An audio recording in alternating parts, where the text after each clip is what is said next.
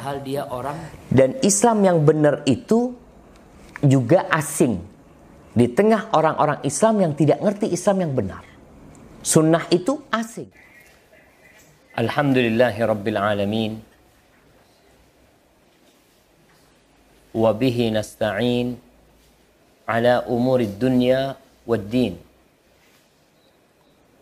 Segala puji bagi Allah Jalla Jalaluh Rabbul Alamin Rabb pencipta pemilik, penguasa dan pengatur alam semesta ini. Dan dengannya kita memohon pertolongan dalam semua urusan. Baik urusan agama atau urusan dunia. Karena tidak ada yang mudah kecuali yang Allah mudahkan. Dan yang sulit Allah bisa menjadikannya mudah kalau Allah berkehendak. Allahumma salli wa sallim ala al-mab'uthi rahmatan lil alamin wa ala alihi wa ashabihi at-tayyibin at-tahirin wa man tabi'ahum bi ihsanin ila yaumiddin. Ya Allah, semoga salawat, salam dan berkahmu senantiasa kau curahkan untuk hamba yang kau utus sebagai rahmatan lil alamin. Sebagai kasih sayang untuk alam semesta ini.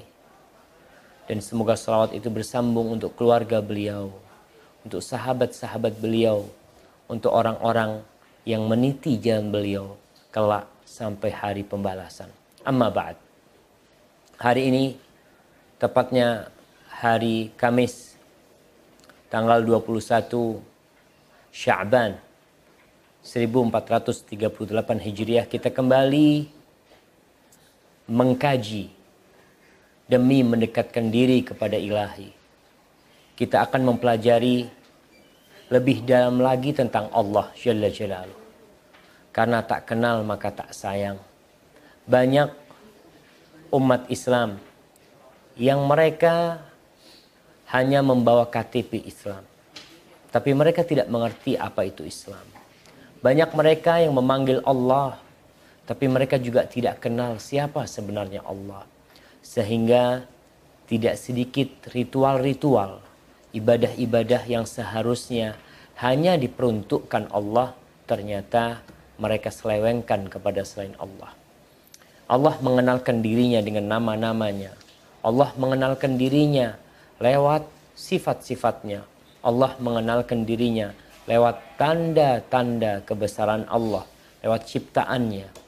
Tapi ada sebagian orang yang tidak mau kenal.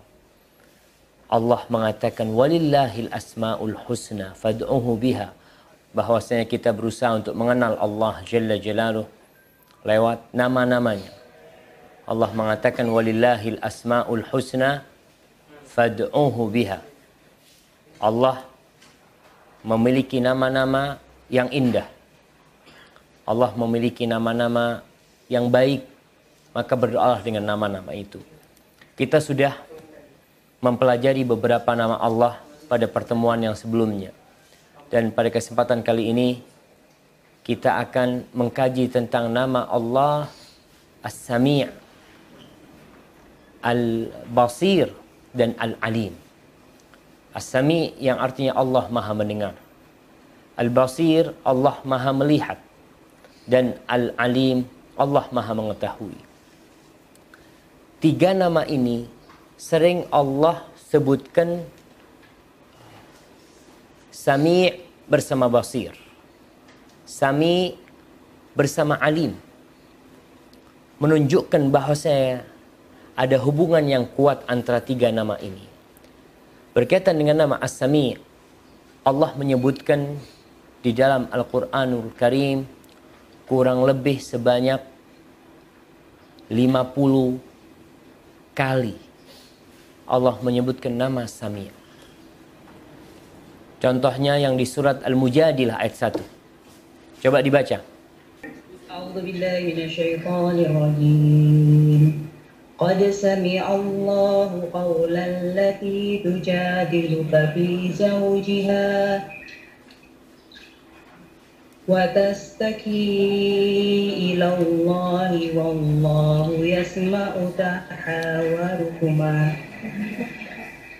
والله يسمع تحاوركما إن الله سميع بصير Sesungguhnya Allah telah mendengar perkataan yang memajukan gugatan kepada kamu tentang suaminya dan mengadukan halnya kepada Allah dan Allah mendengar soal jawab antara kamu berdua. Sesungguhnya Allah Maha mendengar lagi Maha melihat. Subhanallah.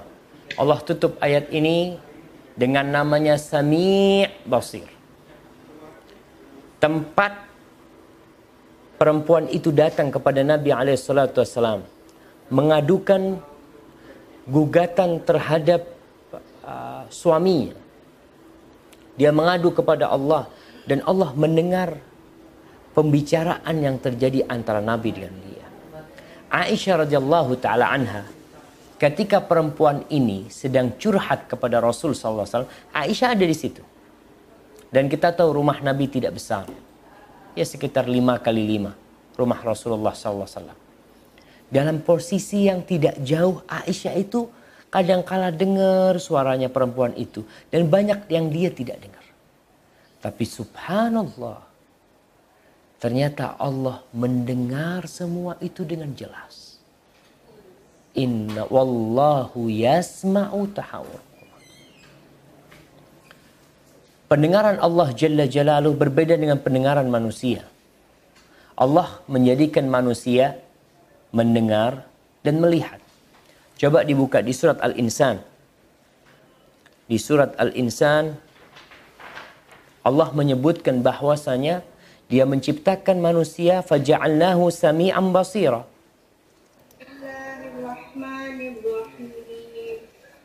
Hal ada 'ala al-insani min لم يكن شيئا مذكورا إنا خلقنا الإنسان من نطفة أمشاج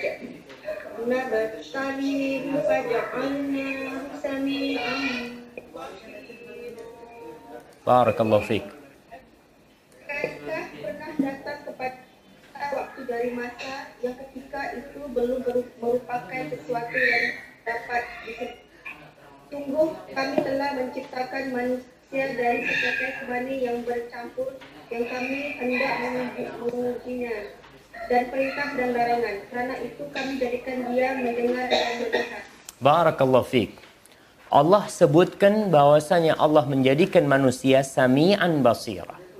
Manusia mendengar dan manusia melihat. Dan Allah menyebutkan tentang dirinya kalau dia maha mendengar dan maha melihat. Innallaha sami'un basir. Tapi tentunya tidak sama pendengaran Allah dengan pendengaran hambanya. Tidak sama penglihatan Allah dengan penglihatan hambanya. Suatu bukti kita tuh kadangkala ketika jauh dari suara kita tidak akan mendengar. Tapi Allah mendengar yang jauh sama dengan yang dekat. Allah mendengarkan semua suara. Allah mendengarkan semua permintaan hambanya. Dan kita tahu orang semua memiliki permintaan dan permohonan yang macam-macam. Dan semua permohonan itu Allah mendengar. Apa saja yang dipinta oleh manusia. Kita tahu entah ada berapa suara di muka bumi ini dalam satu detik. Ada berbagai macam permintaan manusia dalam satu waktu ini kita lihat apalagi kalau di satu tempat seperti ketika di Masjidil Haram ketika di padang Arafah berapa orang tuh yang angkat tangan memohon kepada Allah mereka meminta dan Allah mendengar semua itu dan pendengaran Allah ini terbagi menjadi dua para ulama menjelaskan bahwasanya pendengaran Allah itu terbagi menjadi dua yang pertama perlu diingat uh, bahwasanya laisa kamitslihi syai' wa huwa samiul basir. Allah menyebutkan bahwasanya tiada sesuatu pun yang serupa dengan dia. Jadi sifat-sifat yang ditetapkan untuk Allah Subhanahu wa taala itu kita menetapkannya karena Allah menetapkan untuk dirinya. Kita nggak boleh membuat sebuah sifat tertentu buat Allah. Sebagaimana kita tidak boleh menafikan sebuah sifat atau sebuah nama yang Allah menetapkannya. Allah maha mendengar. Iya Allah mendengar. Manusia mendengar. Tentunya berbeda. Pendengaran Allah dan pendengaran hambanya. Wahuwa sami'ul. Dan Allah itu maha mendengar dan maha melihat. Kembali tadi yang kita sampaikan bahwasanya pendengaran Allah Subhanahu wa taala terhadap hambanya terbagi menjadi dua. Yang pertama Allah Jalla Jalaluh mendengar permintaan hambanya. Yang pertama mendengar suara, yang kedua mendengarkan permintaan hambanya. Kita lihat Allah menyebutkan umpamanya kisah Nabi Zakaria yang uh, Nabi Zakaria berdoa di surat Ibrahim ayat 39 ya. Uh, dia mengatakan inna rabbi la sami'ud du'a ya. Sesungguhnya Rabbi, Rabbku itu maha mendengar doa. Eh Allah mengabulkan doa. Jadi mendengar itu ada mendengar yang maknanya mendengar uh, suara. Ada mendengar yang merespon dari suara yang disampaikan. Ini yang kedua. Dan Allah mendengar suara dan merespon apa yang Allah dengar dari permintaan hambanya. Ada orang yang mendengar tapi tidak merespon, nggak paham dia dengan apa yang dipinta. Umpamanya ada orang nih pakai jaket ya, dia pakai jaket, lalu anda ngomong sama dia, Mas ada kala jengking di uh, di pundakmu. Orang ini cuma diem ketawa, oh iya makasih gitu dia. Berarti dia nggak paham dengan apa yang diomongkan. Ketika dia paham, maka dia akan membuka jaketnya. Dia akan mencari itu kala jengking, mungkin dia juga akan membunuh. Ada respon dari dirinya karena dia mendengar. Dan Allah subhanahu wa ta'ala merespon permintaan-permintaan hambanya. Dan kalau kita lihat setiap sholat nih, uh, imam ketika mengatakan Sami Allahu liman hamidah kita imam mengatakan sami Allahu liman hamidah. Allah mendengar bagi hambanya yang memujinya. Allah mendengar semua suara. Tapi kenapa Allah khususkan di sini? Allah mendengar bagi siapa yang memujinya. Lalu kita mengatakan Rasul SAW berkata kepada para sahabatnya, kalau kalian dengar imam mengatakan Sami Allahu liman hamidah, kalian langsung tuh mengatakan Allahumma Rabbana lakal hamdu. Kita mengatakan, Ya Allah, wahai Rabb kami, bagimu segala pujian. Bagimu segala pujian. Kenapa mengatakan itu? Karena Allah akan memberikan jawaban. Di riwayat lainnya Rasul sallallahu alaihi wasallam mengatakan yasma'illahu lakum. Allah akan dengar tuh yang kalian ucapkan. Allah akan mendengar bukan masalah suara, tapi Allah akan mendengar apa yang kalian pinta. Maka di sini kita melihat Rasulullah sallallahu alaihi wasallam mengajarkan kepada kita sebuah doa. Dalam hadis yang diriwayatkan Tirmidzi, Nabi mengajarkan doa agar kita berlindung dari empat hal. Salah satunya adalah Allahumma inni a'udzubika min du'ain la yusma. Ya Allah, aku berlindung kepadamu dari doa yang tidak didengar. Apa maksudnya doa yang tidak didengar? Allah mendengar doa, suara orang yang meminta, itu Allah dengar. Tapi kadangkala Allah tidak memberikan apa yang dipinta maka dikatakan Allah tidak mendengar doamu. Kenapa? Ya karena engkau makan haram ya. Karena syarat-syarat doa tidak kau penuhi. Karena kau berdoa meminta agar diputuskan silaturahim maka Allah tidak dengar. Maka ini pun dikatakan la yusma. Artinya tidak didengar. Allah mendengar suara, Allah mengabulkan doa-doa orang yang memohon kepada Allah Subhanahu wa taala. Jadi para jamaah, kita beriman dengan nama Allah yang agung ini bahwasanya Allah mendengar. Di sini seorang hamba akan berhati-hati mengeluarkan sesuatu dari lisan. Ribah yang terjadi. Ribah yang terjadi. Kalau dia tahu bahwasanya apa yang diomongkan itu didengar oleh Allah Jalla Jalaluh dan Allah akan memberikan sanksi kepadamu, maka orang mau tidak mau akan berhenti ribain orang. Jangan itu. Kita kadang kadang ngobrolin orang ya. Tahu-tahu ada yang ketuk pintu. Assalamualaikum. Waalaikumsalam. Kita langsung ubah obrolan kita. Kita ngobrolin yang lain. Soalnya nih orang yang datang itu yang kita ribain. Atau kita tidak ingin orang lain tahu apa yang sedang kita omongkan. Maka di sini beriman dengan nama Allah As-Sami, Allah Maha mendengar, membuat kita tidak mudah mengucapkan ucapan kecuali setelah kita berfikir. Maka ingat dalam sebuah hadis Rasulullah sallallahu alaihi wasallam bersabda, "Inna rajula la yatakallamu bi kalimatin la yulqi laha balan yahwi biha fi nari jahannam sab'ina kharifa." Ada orang tuh yang berucap, yang ngomong dengan ucapan yang dia tidak, yang dia sepelekan, dia tidak, dia, dia remehkan dampak dari apa yang dia ucapkan. Ternyata dengan ucapan itu dia masuk ke neraka jahanam selama 70 tahun. Karena Allah dengar yang kau ucapkan. Sehingga orang yang berzikir ya, orang yang berdoa.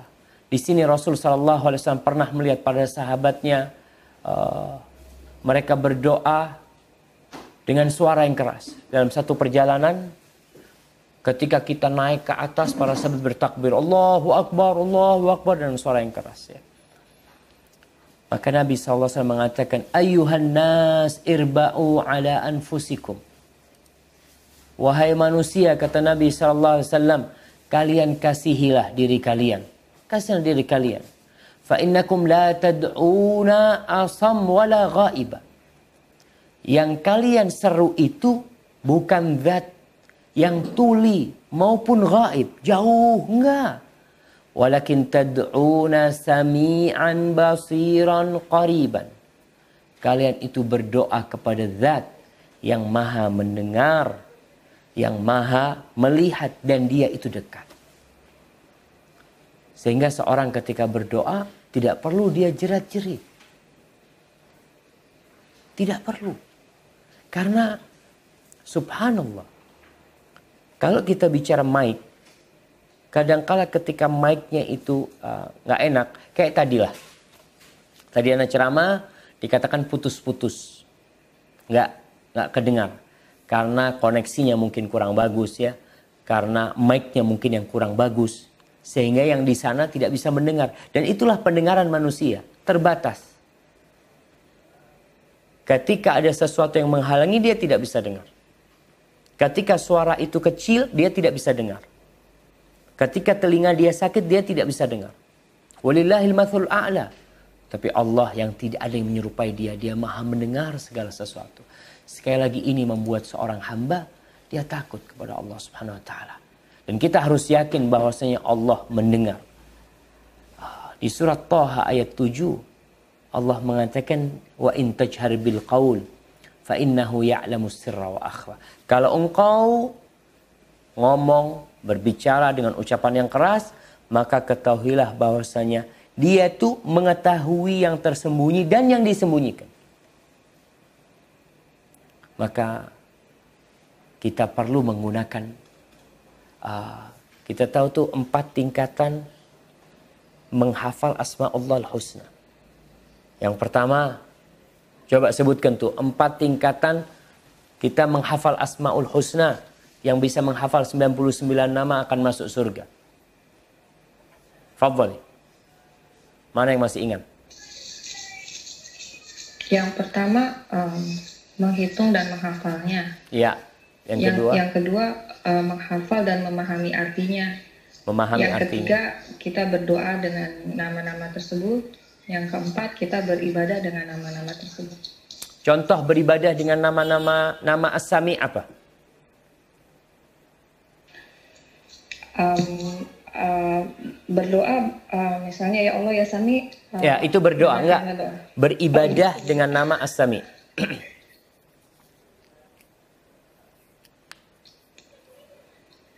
uh, bahwa setiap apa yang kita um, uh, lakukan, kita selalu mengingat bahwa Allah mendengar apa yang uh, apa yang kita ucapkan. Iya, barakallahu fiik. Nah, beribadah dengan nama Allah Sami, salah satu contohnya kita mau ngomong itu mikir. Allah nih dengar nih, Allah ridho enggak? Kemudian tatkala kita punya masalah, kita beribadah, udahlah. Kita minta sama Allah nih. Allah dengar tuh. Ini artinya dia. Dia meyakini dan menjadikan nama Allah As-Sami mendampingi dia dalam kehidupan itu. Makanya Nabi Ibrahim ketika selesai membangun Ka'bah bersama Ismail. Nih dia selesai membangun Ka'bah, dia mengatakan Rabbana taqabbal minna. Ya Allah terima dari kami ya Allah. Innaka antas samiul alim. Engkau maha mendengar dan maha mengetahui. Nabi Zakaria ketika minta anak, dia mengatakan qala rabbi habli min ladunka dzurriyyatan thayyibah. Ya Allah, karuniakan bagi aku dari sisimu anak keturunan yang baik. Innaka sami'ud du'a. Engkau maha mendengar doa. Maka dengan cara seperti ini kita berdoa dengan nama As-Sami dan kita beribadah dengan nama As-Sami itu. Walaupun suaranya tidak keras kita duduk berzikir di tengah malam yang gelap gulita tidak ada yang mendengar suara kita tapi Allah mendengar suara kita bahkan detak jantung kita. Orang kalau mau mau dengar detak jantung orang, itu kan harus telinganya ditaruh tuh di dadanya. Dilihat ada detak jantung. Tapi Allah dari fauq sab'i samawat, dari atas arasnya dia mendengar semua suara. Baik, ini berkaitan dengan nama As-Sami. Baik, kita beralih kepada nama Allah yang selanjutnya yaitu Nama Allah Al-Basir. Allah itu maha melihat. Kalau nama As-Sami itu lebih kurang 50 kali, kalau nama Al-Basir itu kira-kira 40 kali Allah sebutkan di dalam Al-Quran Karim. Di antaranya yang tadi sudah kita baca di surat Ash-Shura ayat 11. Allah mengatakan laisa kamitslihi syai' wa huwa samiul basir. Kata Allah, tiada sesuatu pun yang menyerupai dia dan dia itu maha mendengar dan maha melihat. Di surat Al-Baqarah ayat 265 Allah mengatakan wallahu bima ta'maluna basir. Sesungguhnya Allah maha melihat apa yang kalian kerjakan. Dan masih banyak ayat-ayat yang lain menyebutkan bahwasanya Allah Subhanahu wa taala maha melihat. Bagaimana kita beribadah dengan nama Allah? Bahwasanya Allah Maha melihat. Allah di antara yang perlu kita yakini adalah menetapkan kalau Allah memiliki penglihatan dan melihat kita. Di dalam surat At-Tur Allah mengatakan wasbir li hukmi rabbika fa innaka bi ayunina. Engkau bersabarlah dalam menunggu ketetapan Rabbmu, dalam menunggu keputusan Allah. Fa innaka maka sesungguhnya engkau bi'ayunina kamu berada dalam penglihatan kami. Dan ketika Nabi SAW menjelaskan tentang Dajjal bahwa Dajjal itu awar dia punya mata dia punya mata tapi matanya itu cacat. Istilahnya picek ya. Nggak tahu bahasa apa picek itu. Tapi kayak gitu tuh. Allah nggak kayak gitu. Allah memiliki mata dan Allah melihat dan kita menetapkan hal itu buat Allah. Dan Allah mengetahui segala sesuatu ya. Sampai ada ada doa. Ada seorang penyair ini Syekh Abdul Razak uh, menukil uh, ucapan seorang penyair ya yang dalam bahasa Arabnya dikatakan uh, tunggu sebentar. Ya man yara maddal ba'udi janahahu fi zulmatil lainil bahimil alyali wa yara manata uruqiha fi nahriha wal mukha fi tilkal 'idhamin nuhali أمن علي بتوبة تمحو بها maka minni fi zamanil awwali. Di sini kita lihat seorang penyair ini ketika yakin Allah Maha melihat, maka dia menggunakan sifat Allah dan namanya itu untuk meminta. Dia memulai dengan mengatakan wahai zat yang melihat kerumunan nyamuk dan sayapnya. Uh, di riwayat lain bukan kerumunan nyamuk, tapi madda, yaitu ketika nyamuk itu meng, me, membentangkan sayapnya. Fidul pada malam hari yang amat gelap gulita. Dan dia melihat uh, urat-urat uh, di lehernya. Urat-urat di lehernya, uh, tempat jalannya darah tuh. Ketika dia nyedot darah tuh nyamuknya kita lihat. Kemudian lewat di urat-uratnya masuk entah ke perutnya. Kemudian Allah itu melihat sum-sum tulangnya. Jadi sum-sum yang ada di tulang nyamuk itu Allah tembus dapat melihat ke sana. Padahal tulang itu sangat uh, kecil sekali. Ini setelah kita menyebutkan kita me, ya memaparkan kepada Allah tentang kebesaran Allah, baru minta sama Allah. Mengatakan, Umnun alaiya Allah, karuniakan, anugerahkan kepadaku taubat yang dengannya engkau hapuskan apa dari dosa-dosa dan noda-noda yang telah terjadi pada masa yang berlalu. Ini beriman dengan nama Allah Al-Basir. Maka kita beribadah dengan itu dan memohon dengan nama itu. Di antaranya kita beriman dengan nama Allah Jalla Jalaluh bahwasanya Allah melihat segala sesuatu yang kita lakukan, yang dilakukan anak kita, di sini orang tua menanamkan kepada anak-anaknya. Mengatakan, nak, abah memang gak ngeliat nak ya. Umi gak ngeliat engkau nak, tapi Allah ngelihat nak. Di mana pun engkau berada. Engkau sedang ngapain, Allah melihat.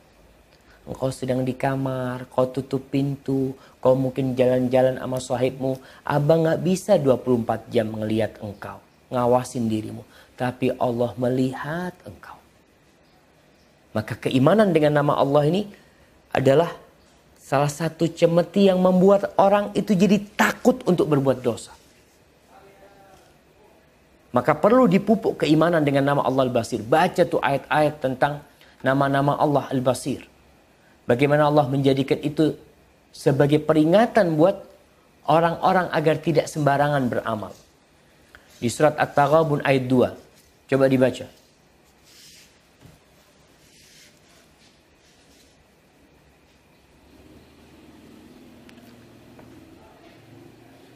Nah, surat At-Taghabun ayat 2.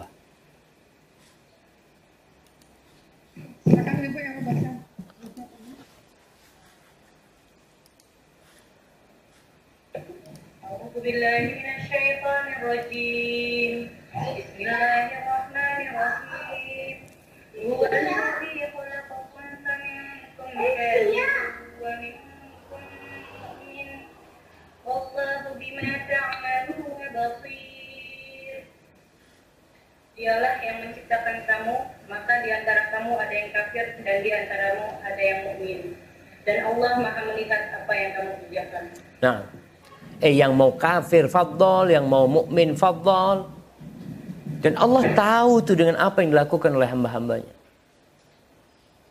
Kemudian Allah di surat Al-Fussilat ya, ketika Allah menceritakan uh, orang-orang yang banyak melakukan uh, perbuatan-perbuatan uh, nista, yang mereka berpikir Allah tidak melihat mereka, Allah mengatakan kepada mereka di surat Fussilat ayat 40, "I'malu ma syi'tum." Kalian mau beramal beramalah terserah kalian. Kalian mau ngapain terserah kalian. Innahu bima ta'maluna basir. Kalian tahu Allah itu maha melihat dengan apa yang kalian lakukan. Artinya Allah mengancam mereka dengan nama Al-Basir ini karena orang mau tidak mau ketika tahu dia sedang diawasin, sedang dilihat, ada mata yang memandang dia, dia insya Allah akan berhenti melakukan sesuatu yang nista. Contohnya nih, CCTV yang ada. Berapa banyak orang setelah adanya CCTV, maling itu nggak jadi nyuri. Tapi ketika dia belum tahu ya ada CCTV, maka kita lihat banyak terekam oleh CCTV orang-orang yang mencuri. Mencuri motor terekam oleh CCTV. Lalu dia ketangkep, dibawa di sidang. Dia mengatakan, enggak aku enggak mencuri. Kau mencuri? Enggak, enggak mencuri aku. Mana buktinya kalau aku mencuri? Lalu dia disetelkan di sebuah layar video nih. Ada seorang yang datang. Tolah-toleh kiri kanan. Terus dia pakai kunci T dia masukin. Dia masih tolah-toleh kiri kanan. Dia nggak tahu kalau di atas tuh ada yang ngawasin dia. Coba akhirnya dia mengatakan, iya itu aku. Dia tidak bisa mengingkari. Dalam hatinya dia mengatakan, ya Allah ternyata ada CCTV ya. Ya udah mau gimana lagi, udah takdirnya katanya. Ketangkap umpamanya dia mengatakan. Tapi ketika dia mau taruh tuh uh, kunci T, kemudian dia noleh ke CCTV, nggak jadi dia tuh. Kenapa? Ketahuan dia, ketangkap dia.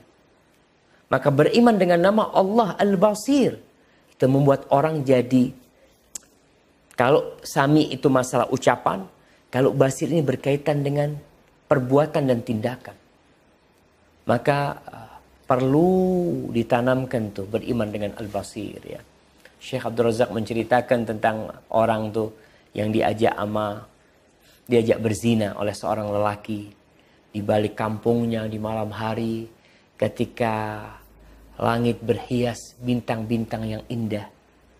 Kata lelakinya ini, ayo nih, kita mulai nih, kata dia. Nggak ada yang ngelihat kita kecuali bintang-bintang.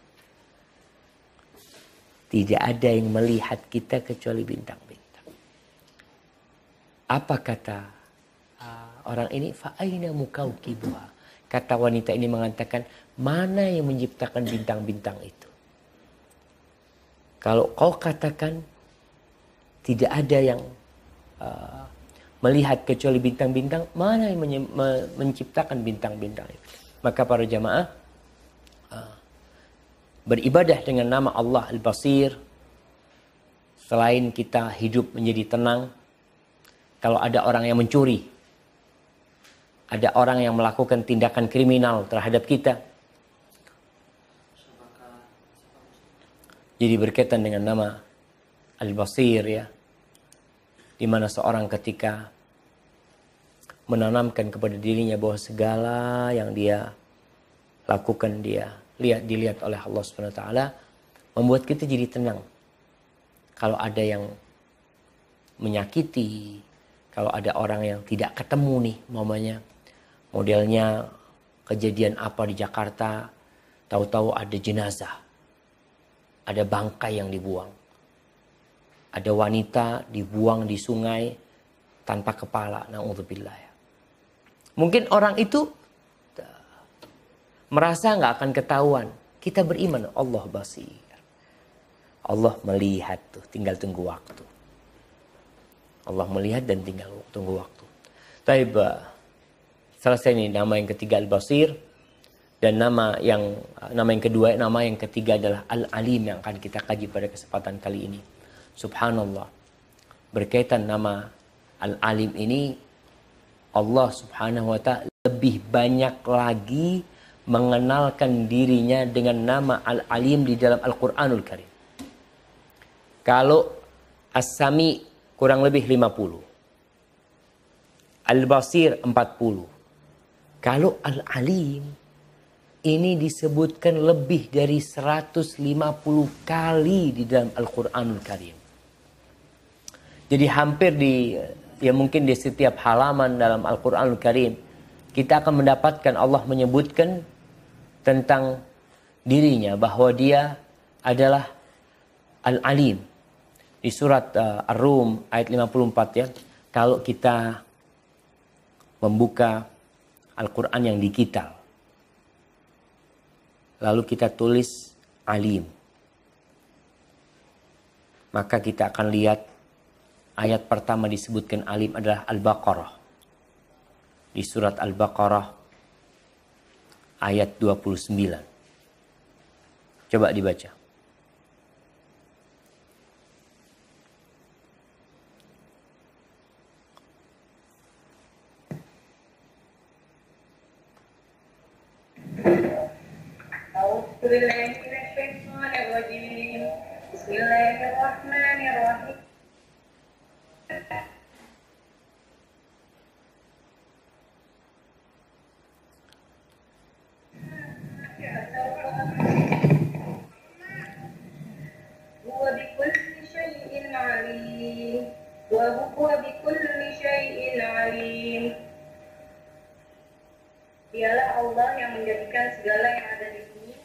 kamu dan dia berkehendak menciptakan langit. Lalu dijadikannya tujuh langit dan dia akan mengetahui segala sesuatu. Allahu Akbar. Disebutkan di sini wa huwa bi kulli syai'in alim. Ketika Allah menciptakan bumi ini. Ketika Allah kemudian menciptakan langit. Allah jadikan tujuh lapis langit. Dan dia dengan segala sesuatu mengetahui. Ada orang yang mencipta. Tapi dia tidak tahu dengan apa yang dia bikin. Dia tidak tahu dengan secara detail apa yang ada dalam ciptaannya. Sedangkan Allah dengan segala sesuatu Allah tahu. Allah itu bukan hanya tahu yang sudah terjadi. Allah tahu dengan makan sesuatu yang sudah berlalu. Wa ma yakun. Allah tahu dengan apa yang bakal terjadi. Wa Bagaimana proses kejadiannya nanti? Dan kalau sudah terjadi, nanti akhir cerita dari apa yang sudah Allah ciptakan itu bagaimana? Allah tahu semua itu. Manusia punya ilmu, naam. Tapi ingat ilmu manusia sangat sedikit sekali. Allah mengatakan wa ma utitum minal ilmi illa qalila. Adapun uh, ilmu yang ada pada diri kalian itu qalil jiddan. Permisalan ilmu Allah dengan ilmu semua makhluk Allah SWT itu seperti air laut tuh. Kalau burung yang minum di lautan, tuh yang ada di paruh burung itulah ilmu manusia. Sedangkan lautan itulah ilmu Allah Jalla Jalaluh. Di surat uh, Al-An'am Allah menyebutkan tentang keluasan ilmunya ayat 80 wasi'a rabbi kulla syai'in ilma.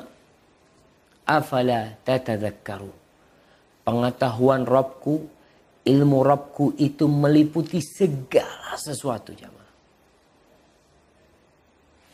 Tubuh kita ini kita lihat dokter tuh kalau mau lihat uh, mau lihat paru-paru itu ada yang di rongsen. Ada nanti yang sekarang lebih canggih lagi yang pakai uh, CT scan mungkin. Ada yang canggih lagi namanya burungkoskopi apa? apa itulah yang alat yang dimasukkan. Karena manusia nggak nggak nggak bisa melihat ke dalam itu. Tadi kita katakan mendengar, melihat dan alim. Ini berkaitan sekali. Allah melihat dan dengan itu Allah mengetahui. Kita lanjutkan bahwasanya Allah Subhanahu wa taala tadi itu kita bicara dokter ya, mereka kalau ingin tahu isi perut manusia dia harus pakai alat macam-macam supaya tahu dan itu pun tidak detail. Kadangkala harus dioperasi dibuka. Lakin Allah Subhanahu wa taala ilmunya meliputi segala sesuatu. Segala sesuatu. Di mana pun tempatnya. Allah itu tahu dengan jumlah butiran pasir. Orang sekarang bangun rumah nih. Bangun rumah. Coba tanya itu. Jumlah pasir yang kau pakai buat bangun rumah. Ya 20 truk. Dikatakan 20 truk. 20 truk oke. Okay. Jumlahnya berapa? Kata dia, siapa yang tahu dengan jumlahnya pasir? Siapa yang menghitung pasir? Kata dia. Nggak ada yang tahu. Tapi Allah tahu dengan jumlah pasir itu. Kita bicara daun-daunan. Allah kalau bicara ilmu Allah subhanahu wa ta'ala. Allah itu tahu dengan jumlah daun-daunan yang ada di muka bumi ini. Jamaah uh, tumbuhkan di hati kita beriman atau keimanan akan besarnya ilmu Allah Subhanahu wa taala. Anak kemarin naik mobilnya anak pas lagi ujian. Anak lihat ada orang yang sedang kerja. Ada orang yang lagi mau jualan. Ada orang yang sedang berteduh di bawah di bawah atap toko ya. Kemudian anak lihat sungai, ada orang yang lagi mancing, anak subhanallah ya. Itu tuh Allah tahu dengan semuanya. Itu orang yang lagi mancing Allah tahu. Sejak jam berapa dia duduk, jam berapa dia akan dapat ikan, atau dia tidak akan dapat ikan. Kemudian ikan apa yang akan makan di kail kita, kail dia, kemudian tertangkap. Kemudian ikan itu akan lepas atau tidak. Kemudian ketika ikan itu tertangkap, ikan itu akan dimasak menjadi apa dan siapa yang akan memakannya. Nanti tulang-tulangnya itu akan dibuang ke mana. Oh nanti akan dimakan oleh semut. Berapa ekor semut yang akan memakannya? Sisa dari tulang itu nanti ke mana? Apabila semut sudah memakan. Subhanallah. Oh Allah itu maha mengetahui jamaah. Subhanallah. Allah sebutkan berulang kali dalam Al-Quranul Karim. Bahwasanya wasi'a kulla syai'in ilma. Ilmunya meliputi segala sesuatu. Allah ya'lamu ma tusirruna wa ma tu'linun. Dan Allah mengetahui apa yang kamu rahasiakan dan apa yang kamu lahirkan. Allah allamul ghuyub. Ini berkaitan dengan ilmu. Orang ketika menikah. Kadangkala dia merasa putus asa. Capek sama istrinya. Capek sama bininya Allah mengatakan kepada para lelaki wa ashiruhun nabil ma'ruf. Pergaulilah istri-istri kalian dengan cara yang ma'ruf. Fa in karihtumuhun. Kalau kalian benci sama istri-istri kalian, apakah Allah suruh ceraikan istrinya? Dalam kondisi suami nggak suka sama istrinya. Udah udah anak-anak udah udah bosan, udah capek, anak udah ngasih tahu berulang kali. Apakah Allah suruh ceraikan? Enggak. Allah katakan wa asa an takrahu syai'an wa yaj'alallah fi khairan katsir. Kalian sabar. Bisa jadi yang kalian benci itu ternyata di situ ada kebaikan yang banyak yang Allah bikin di sana. Maka kau harus sabar. Manusia tidak tahu. Makanya malaikat-malaikat Allah ketika Allah hendak menciptakan Adam terjadi uh, dialog antara Allah dengan malaikatnya. Allah memberitahu ini ja'ilun fil ardi khalifah aku akan menciptakan sebuah seorang khalifah di muka bumi ini. Apa kata malaikat? Dengan ilmunya yang terbatas, mereka mengatakan, Ya Allah, apakah engkau akan menciptakan ataj'alu fiha man yufsidu fiha wa yasfikud dima wa nahnu nusabbihu bihamdika wa nuqaddisu lak? Kata malaikat, Ya Allah, kau akan uh, ciptakan di dalam di muka bumi itu seorang khalifah makhluk yang akan merusak di dalamnya, yang akan mengucurkan darah di sananya.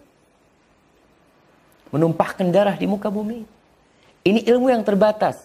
Karena orang hanya melihat, oh kayaknya ini orang nggak bener nih. Kita kadang lihat nih orang kayaknya nggak mungkin dapat hidayah. Bisa jadi dia dapat hidayah. Makanya malaikat ketika uh, Nabi Adam tuh dikasih ilmu sama Allah, malaikat disuruh sujud dan malaikat pada sujud kepada Nabi Adam. Karena malaikat beriman pasti dalam ciptaan Allah ada hikmah Allah tahu tuh. Ketika Nabi Adam dikasih tahu nama-nama benda lalu malaikat ditanya ambiuni bi asma'i haula in kuntum sadiqin. Kasih tahu aku nama-nama benda-benda itu Allah ingin menunjukkan bahwasanya ilmu malaikat itu terbatas lalu malaikat nggak ada yang bisa tahu La ilma lana illa ma'allamtana. Ya Allah, kami itu nggak punya ilmu kecuali yang kau ajarkan kepada kami. Artinya, kami nggak tahu.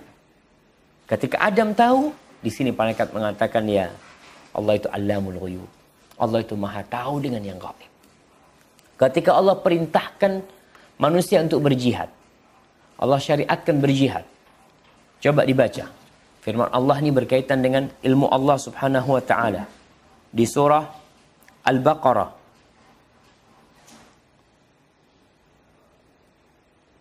Nah, di surat Al-Baqarah ayat 216. tidak menyenangkan bagimu, tetapi boleh jadi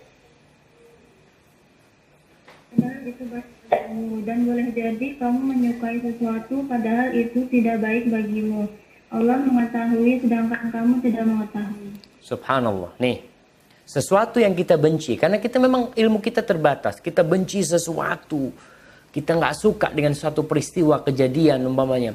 Padahal di situ ada kebaikan yang banyak. Kenapa kita membenci? Karena kita nggak punya ilmunya.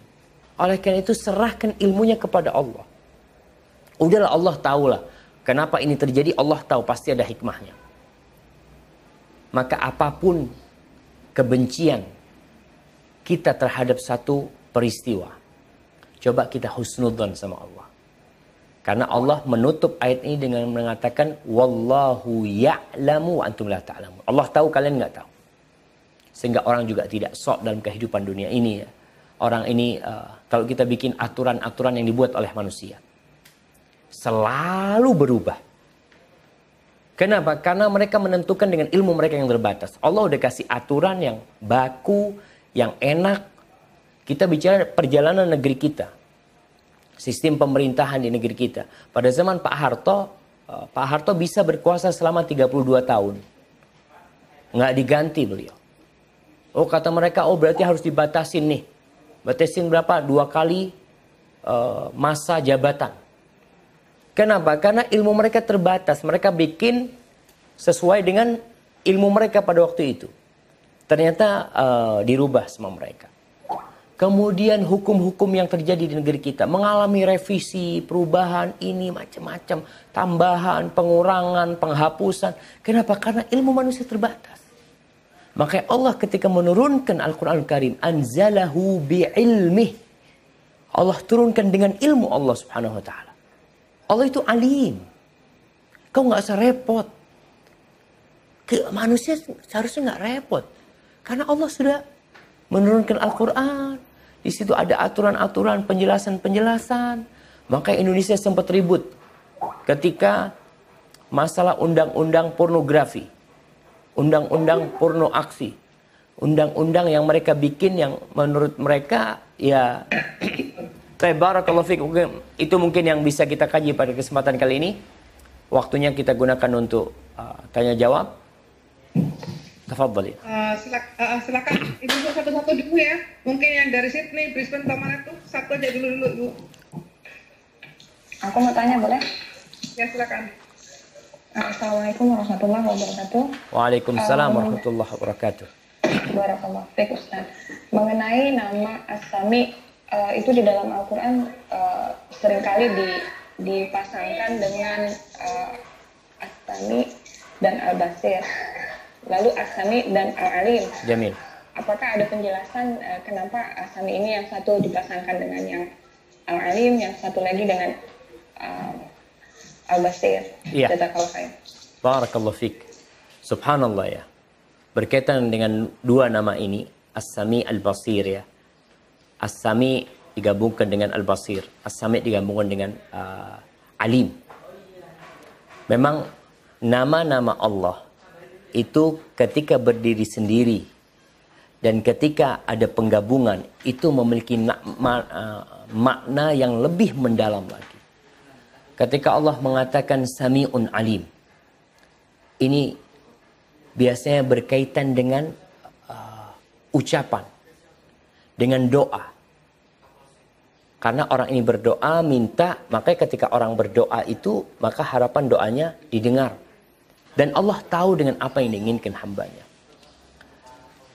Ketika berkaitan dengan uh, As-Sami Al-Alim tadi. As-Sami'ul Basir. Allah ingin menjelaskan kepada hambanya kalau orang itu sedang berbuat, dia berucap atau beramal. Sehingga ucapan dia itu didengar dan yang dia kerjakan itu Allah lihat. Jadi ucapan dia didengar dan ama ucapan dia itu uh, didengar dan amalan dia itu Allah melihatnya. Sehingga ketika digabungkan dua ayat ini akan menjadikan hamba semakin takut. Takut dalam berucap dan takut dalam bertindak. Ketika sami alim Maha mendengar digabungkan dengan alim. Biasanya kepada orang-orang yang sedang meminta, memohon ya. Bahwasanya uh, ketika seperti doanya Nabi Ibrahim ketika dia mengatakan Rabbana taqabbal minna innaka antas samiul alim. Tidak mengatakan innaka antas samiul basir. Dia mengatakan innaka antas sami alim. Ya Allah, kau yang maha, kau maha maha mendengar dan kau maha tahu kita ini ikhlas apa enggak dalam amalan ini. Kalau ada kekurangan dalam amalan ini, kau tahu dengan semua kondisi kita. Kau tahu dengan kelemahan kita ya Allah. Maka kita memohon. Kiranya seperti itu. Hadza wallahu a'lam bissawab. Nah. Silakan yang Brisbane tuh.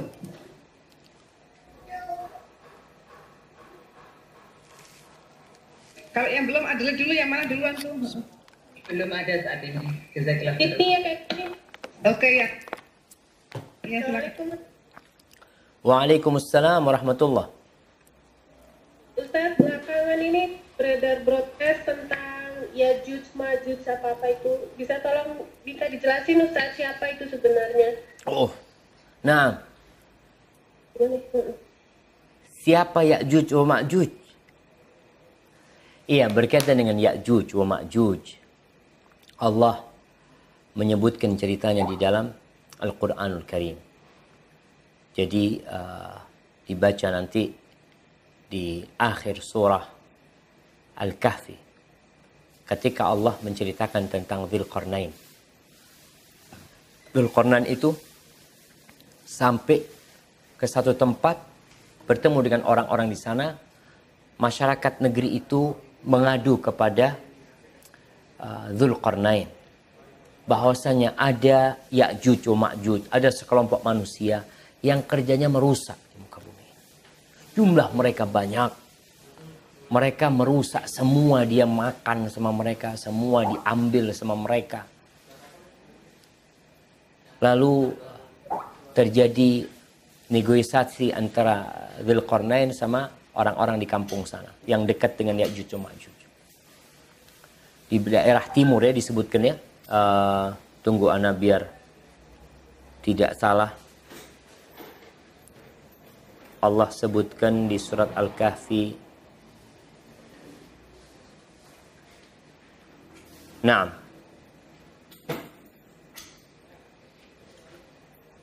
Ketika Dzulqarnain sampai ke arah timur, kemudian dia melanjutkan perjalanan dan dia sampai di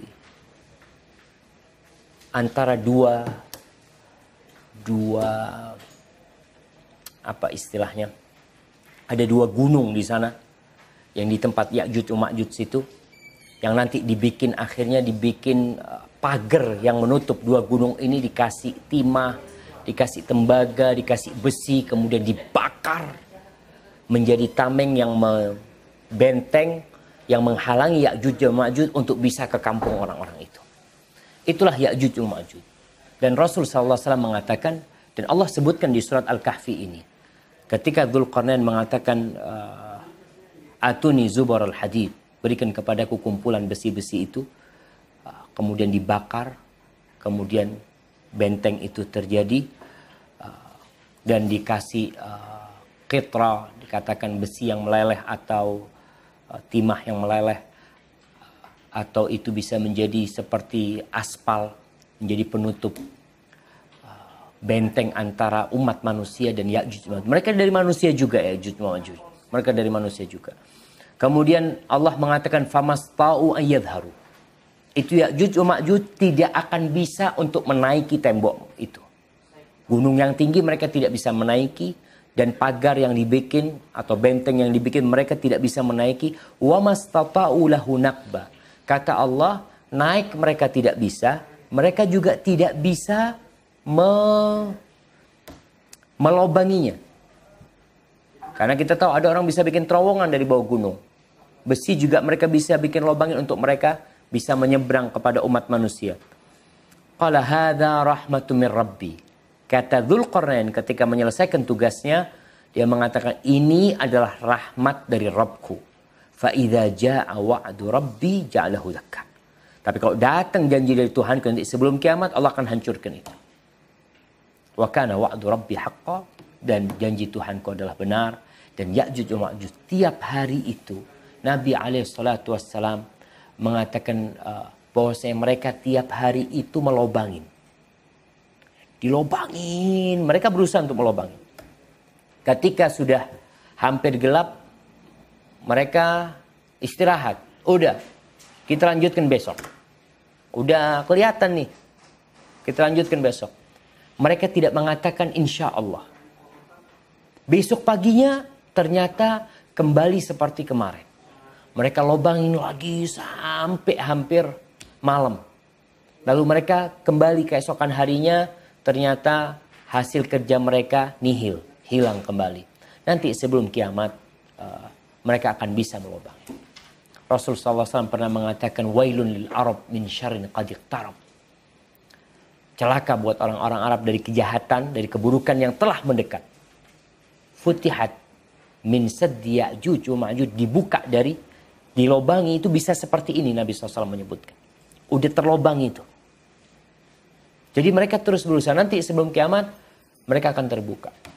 Lalu uh, terjadi khilaf di antara para ulama. Apakah Ya'juj Ma'juj itu sudah selesai ya mereka sudah datang merusak. Ada yang mengatakan mereka adalah Tatar ya. Mereka ada yang datang orang-orang Mongolia yang pernah menyerang umat Islam, yang pernah menjatuhkan khilafah Abbasiyah pada waktu itu di Baghdad ya atau mereka belum keluar. Ini masih uh, terjadi khilaf di antara mereka, tapi yang jelas kayaknya belum keluar nanti. Mereka akan datang nantinya. Bagaimana sekarang Ustaz dengan adanya satelit, adanya ini macam-macam. Wallahu a'lam Allah itu bisa menyembunyikan apa yang manusia tidak bisa melihatnya. Kalau Allah berkehendak. Karena Allah ala kulli syai'in qadir. Hadza wallahu a'lam bissawab. Nah, Kiranya seperti itu. Silakan Adlet ya. Adlet silakan. Assalamualaikum. Waalaikumsalam. Uh, ini ada titipan. Ya, ini ada titipan pertanyaan tentang masalah hukum tasbih. Apakah tasbih hanya berlaku untuk yang akan sholat di masjid saja atau untuk yang sholat di rumah juga? Seandainya tanpa sengaja kita bertasbih, apakah harus mengulang wudhu kita? Jazakallah. Nah, tashbik maksudnya? Iya. Tunggu, Anda mau tanya lagi tuh. Yang diadelir? Iya. Yang maksud tasbik adalah? Ini titipan pertanyaan. Ah, ya ini. Kalau titipan biasanya tashbik wallahu alam. Nabi SAW melarang tashbik ya. Tashbik itu yang anda fahami adalah me, apa nih? sismu syabbaka baina asabihi ini artinya uh, ini tasbik jadi di masjid kadang duduk sambil seperti ini ya dia itu ada larangan. Para menyebutkan larangan itu disebabkan biasanya orang yang melakukan hal itu sedang sedang lengah. Dia sedang menghayal mungkinnya. Ketika dalam kajian umpamanya seharusnya uh, dia serius. Tapi kalau dia melakukan itu ya ada pertanda uh, kayaknya dia tidak serius. Maka larangan itu kalau tadi dikatakan membatalkan wudhu wallahu alam anak anak baru tahu tidak membatalkan wudhu itu bukan termasuk pembatal wudhu tasbik kalau ini maksud tasbik itu yang seperti ini tapi Allah alam kalau mungkin ada ada makna lain yang ditanyakan nanti perlu disampaikan ke anak karena memahami soal itu uh, penting sekali supaya tidak salah jawab. Hada wallahu alam. Nah. Silakan Evi.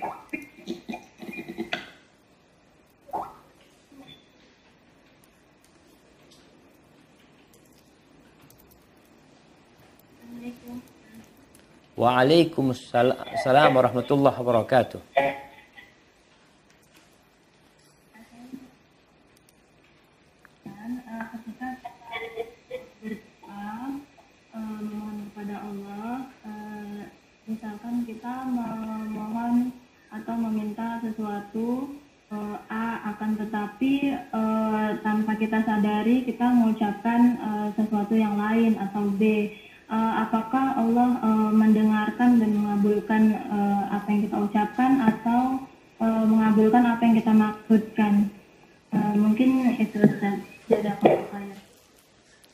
Iya. Barakallahu fika.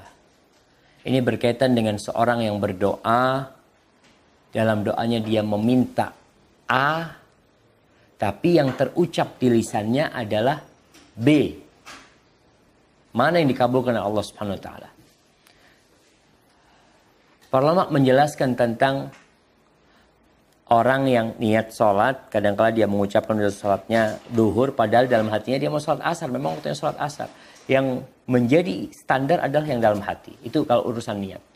Adapun urusan doa, Rasulullah SAW mengatakan, La yakbalullah du'aan min qalbin ghafilin lahin. Allah tuh tidak mengabulkan doa dari hati yang lalai dan lengah.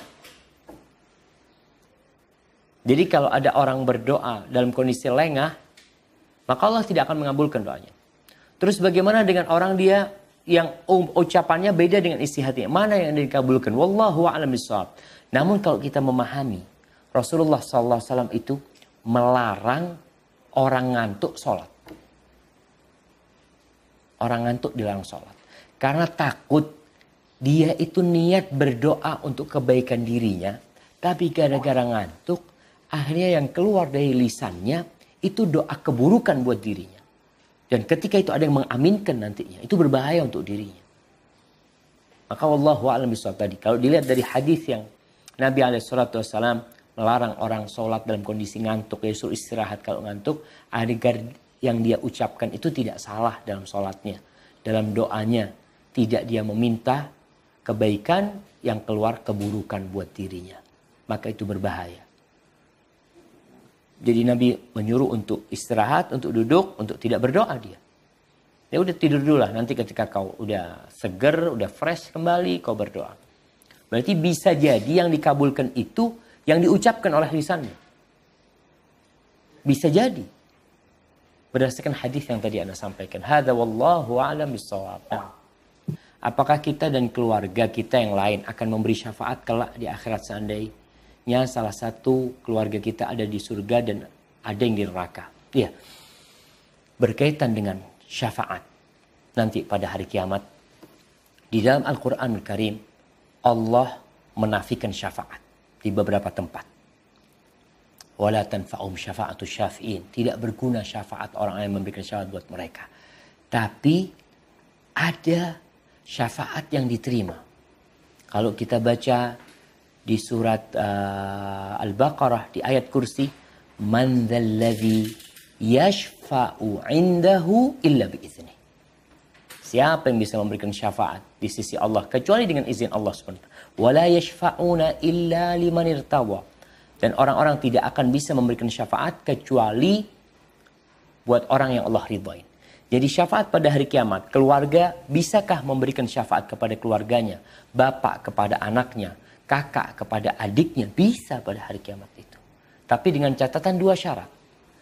Ridha Allah dan izin darinya. Allah meridai orang yang hendak diberikan syafaat dan Allah memberikan izin kepada orang itu untuk memberikan syafaat. Artinya bahkan teman pun bisa memberikan syafaat. Nanti pada hari kiamat uh, di kisah Sa'id bin Jubair ketika menceritakan nanti ada orang-orang yang bertanya kepada dia, ya Allah mana teman-temanku dulu yang biasa bersama aku. Ternyata dia di neraka. Karena amal kebajikannya lebih dikit daripada amal keburukannya. Lalu mereka memberikan syafaat. Dan kemudian anak yang mati sebelum balik itu akan memberikan syafaat kepada orang tuanya. Ketika anak-anak kecil disuruh masuk surga di pintu surga, mereka mengatakan, enggak kata mereka, enggak. Hatta ya'ti abaun, sampai orang tua kami datang. Kami baru mau masuk surga. Itu syafaat anak buat orang tuanya. Jadi uh, Rasul sallallahu alaihi wasallam menjelaskan nanti semua akan memberikan syafaat ya. Orang-orang yang soleh akan memberikan para para nabi memberikan syafaat, para malaikat memberikan syafaat, kemudian para waliullah memberikan syafaat, orang-orang sadiqin, syuhada akan memberikan syafaat. Tapi catatannya dua tadi syaratnya, yaitu izin dari Allah dan ridha Allah untuk orang yang diberikan syafaat. Dan Allah tidak meridhoin kecuali orang yang bertauhid kepada Allah. Hada wallahu a'lam bisawab. Nah. Uh, yang disekap ini begini saat ini pertanyaannya uh, beredar di Australia bahwa coklat itu merek cepat terkenal pewarnanya dari bahan serangga kecil, apakah halal untuk dikonsumsi? Terus yang kedua, apakah lebah yang untuk dibuat obat Cina bisa dikonsumsi Ustaz? Uh, Masya Allah. Iya, berkaitan dengan uh, serangga memang ya. Kembali kepada hukum serangga. Terjadi khilaf di antara para ulama. Mamanya yang ada hadisnya itu adalah uh, apa namanya? Belalang. Belalang itu ada hadisnya bahwasanya itu haram. Ada sebagian memasukkan ke sana juga serangga-serangga yang lain seperti di Indonesia itu ada laron ya. Apakah laron itu uh, halal dimakan itu tidak dikhilaf di antara para ulama. Memang kalau anda lihat hukum asalnya itu adalah halal sampai ada dalil yang mengharamkannya. Jadi hukum asalnya itu halal sampai ada halil yang yang mengharamkan hal itu ya. Seperti lebah bukan lebah yang anda tahu tuh ada uh, semut Cina. Iya semut Cina tuh, yang katanya uh, dimasukin ke kapsul tiga biji kemudian dimakan ya. Allahu alam karena ana pernah mengikuti diskusi para ustadz di grup ustadz-ustadz ya tentang seperti lebah dan semut Cina ini memang belum ada uh, belum ada, ana belum dapat dalil yang yang kuat untuk mengharamkan hal itu. Hadza wallahu a'lam Mungkin bisa ditanyakan kepada ustadz yang lainnya. Boleh nyambung ya Ustadz ya? Boleh. eh, tadi yang... menyambungnya pertanyaan yang Gog and Magog ya, Yajuj wa Ma'juj itu, tadi ada teman yang mau nanya, apakah mereka itu muslim? Uh. Enggak. Mereka bukan muslim, mereka itu perusak. Enggak. Mereka dari Ya'juj Ma'juj, Rasul SAW menceritakan bahwasanya mereka itu penghuni neraka nantinya. Bahkan Ya'juj Ma'juj itu nanti ketika pada hari kiamat mereka datang. Nabi Isa alaihissalam dan Imam Mahdi pada waktu itu membawa umat Islam untuk tidak melawan mereka. Karena mereka tidak bisa dilawan. Dengan kekuatan dan jumlah mereka. Akhirnya mereka bertahan di sebuah uh, di sebuah gunung dan Ya'juj Ma'juj ini merasa sudah menang dan tidak ada yang bisa mengalahkan mereka. Mereka akhirnya melempar panah mereka ke langit. Dilempar ke langit sama mereka. Lalu panah itu balik dari langit dengan darah. Bayangkan. Mereka mengatakan kami sudah menghabisi penduduk bumi. Mari kita mengalahkan penduduk langit. Dan ternyata Allah kasih ujian panahnya itu ada darahnya, ada warna merah di panahnya seakan-akan mereka telah mengalahkan penghuni langit. Nah, akhirnya Allah berikan penyakit kepada mereka, mati semuanya mereka itu. Lalu ketika mereka mati semua bangkai mereka itu di mana-mana. Di mana-mana. Kota itu penuh dengan bangkai-bangkai mereka. Setelah itu Allah kirim burung yang besar-besar ya yang membawa bangkai-bangkai mereka membesarkan dan binatang-binatang itu jadi gemuk-gemuk ya yang ada pada waktu itu tanaman jadi subur ya dengan bangkai mereka. Jadi mereka bukan muslim. La. Hadza wallahu a'lam bissawab. Nah. Satu pertanyaan lagi. Terakhir. Apakah hadisnya menyebutkan Yajuj Majuj itu berasal dari golongan kaum bermata sipit? Ini yang beredar sekarang begitu, Ustaz. Takutnya disalahgunakan. Sebagian bilang kaum Cina, sebagian bilang kaum Turk. Betul, betul. Jadi memang sifat-sifat itu Nabi sebutkan sallallahu alaihi wasallam bahwasanya sifatnya mereka itu uh, wajah mereka itu bulat ya, uh, sipit. Betul kalau itu disebutkan sama Nabi sallallahu alaihi wasallam. Cuma kita ini kan akhirnya mencocokkan. Dicocokin nih, oh kayaknya cocok, kayaknya mereka nih. Ya. Enggak. Soalnya kisah cerita mereka itu yang disebutkan dalam hadis-hadis Rasul sallallahu alaihi wasallam, mereka nanti tidak akan masuk Islam. Kalau kita bicara orang-orang Cina sebagian masuk Islam, bahkan Islam di Cina pun uh, Islam di Cina pun tersebar ya. Di Turk juga seperti itu. Wallahu a'lam. Makanya dalam urusan mencocokkan hadis ini, hadisnya sahih. Tapi kalau me menurunkan hadis ini kepada oh kayaknya fulan nih, ketemu fulan dilihat kayaknya sesuai dengan kriteria. Oh ini Ya'juj Ma'juj gitu. Wallahu a'lam Enggak, kita tidak ya ada ulama yang yang mengatakan kalau itu adalah orang-orang Mongol. Ya, tadi yang Anda sebutkan bahwasanya mereka sudah selesai Ya'juj Ma'juj. Kayaknya belum selesai mereka. Dan mereka belum belum keluar. Mereka akan keluar nanti. Ustadz gimana semua bumi ini sudah bisa diperiksa oleh satelit ya udah dilihat semua nggak ada tuh nggak ada bagian-bagian bumi yang masih misteri ada bagian-bagian bumi yang masih misteri dan mereka tidak tahu. Orang masih belum bisa nyebrang tuh katanya ke mana? Ke Alaska ke kutub utara macam-macam. Ada banyak banyak.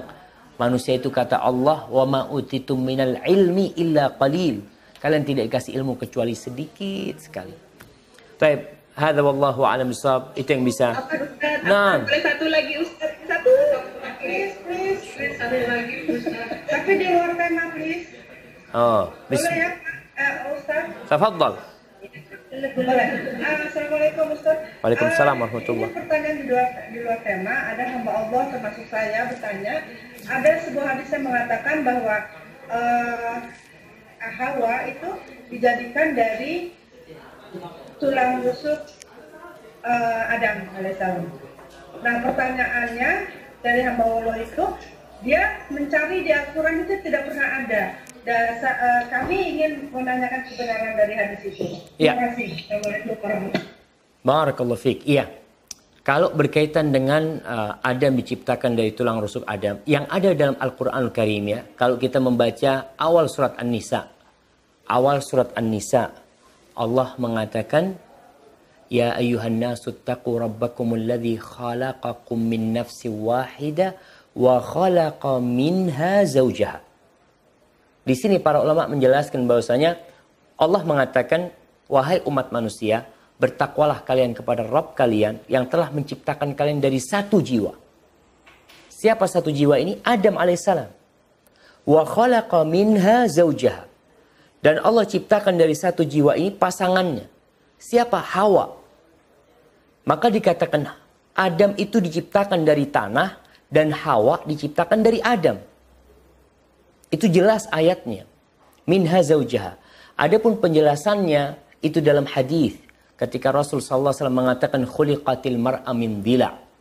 Perempuan itu diciptakan dari tulang rusuk. Itu hadis Nabi dan sahih hadis itu. Jadi kalau yang ada dalam Al-Qur'an Karim itu adalah Hawa diciptakan dari Adam. Bukan dari tanah, tapi dari Adam. Adam dari tanah, Hawa dari Adam, dan anak manusia diciptakan dari Adam dan Hawa.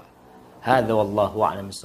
Walaupun memang ada sebagian ulama mengatakan manusia diciptakan dari tulang rusuk itu maksudnya bukan tulang rusuk beneran. Maksudnya itu eh, itu adalah kiasan bahwasanya manusia perempuan tuh bengkok. Jadi bukan dia diciptakan dari tulang rusuk sebenarnya enggak, tapi itu iba, kiasan kalau dia itu adalah bengkok. Padahal enggak. Yang sahih berdasarkan ayat itu Allah menciptakan Hawa dari Adam. Hadza wallahu a'lam. Ya, itu yang bisa Anda sampaikan. Uh, subhanakallahumma bihamdika asyhadu an la ilaha illa anta astaghfiruka wa atubu ilaik. Wassalamualaikum warahmatullahi wabarakatuh.